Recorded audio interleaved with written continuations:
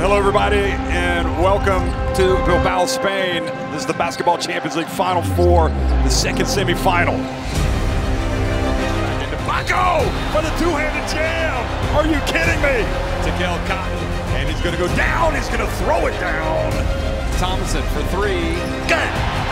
Half fakes the handoff and gets in. Throws it down with a little bit of anger.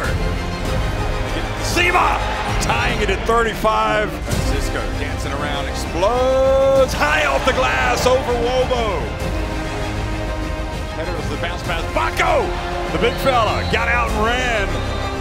Al May has it stolen by Simon, who goes in, scores a twisting dunk in the air.